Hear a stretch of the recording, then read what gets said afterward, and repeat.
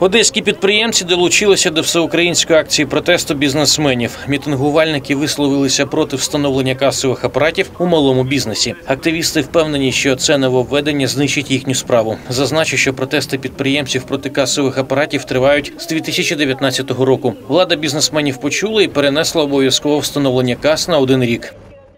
Это дополнительная административная нагрузка.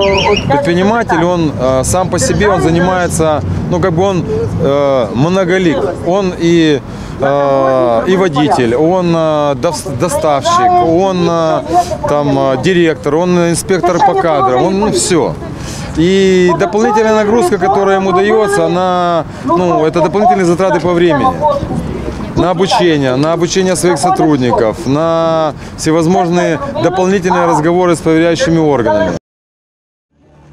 Крім цього, протестувальники вимагають зменшити тарифи на комунальні послуги для підприємців до оптимального рівня. Власники малого та середнього бізнесу розповідають, що вимушені заробляти здебільшого на оплату рахунків.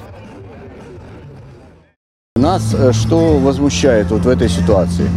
А, пото- э, То, что власть э, начала заниматься малым бизнесом, не решив э, вопросы, которые, э, мне, нам ка- кажется, в первую очередь должны были решены быть.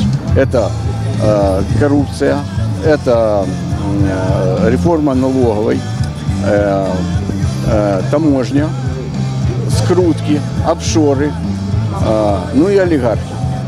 Вот э, я считаю, что государство в такой позеле- последовательности должно решать было эти вопросы.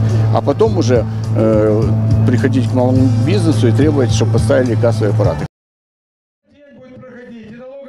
Одеські підприємці разом із бізнесменами з усієї України планують приєднатися до акції протесту під стінами Верховної Ради у Києві під час засідання 16 лютого. Бізнесмени, як і раніше, проситимуть повернення спрощеної системи оподаткування та скасування фіскальних чеків.